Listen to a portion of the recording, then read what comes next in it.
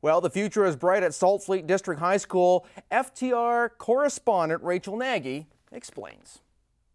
It was a great accomplishment for our school to be chosen to receive a Future Shop grant. Quite frankly, I was amazed when I got the phone call because so many schools across Canada uh, applied for this grant and it was like uh, literally mana from heaven. Technology touches almost every part of our lives and this particular aspect of technology, the design function of technology is very important not only in our lives today but also to the school in particular because we have technological programs which rely on design technology. Saltfleet Secondary School in Stoney Creek was one of two lucky schools all across Ontario to receive a $50,000 grant from Future Shop to benefit the demand for technology and computers in public schools. Future Shop General Manager John Richard explains why Saltfleet was chosen for the Future Shop Future Generation Grant. Well, there's uh, a lot of process in, in it. Uh, there's an application, and it goes to the areas of uh, best need as far as digital technology, um, any needs in the school. And uh, Dan, the teacher here, had probably the best application around. Um, so that was a very easy choice, I believe, to, to pick Salt.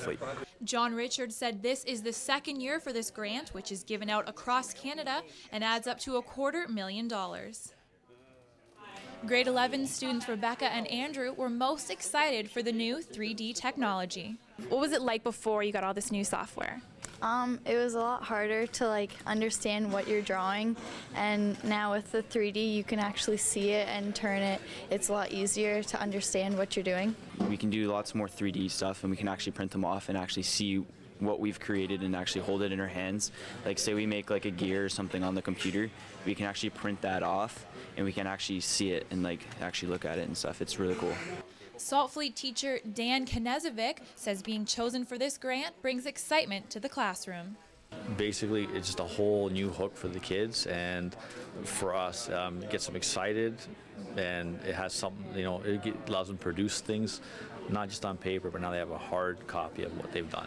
This money will help Saltfleet students branch out into careers that involve technology, which nowadays is key in many career paths. I'm Rachel Nagy for The Record. Well, thank you very much, Rachel, and congratulations to the fine students down there at Saltfleet.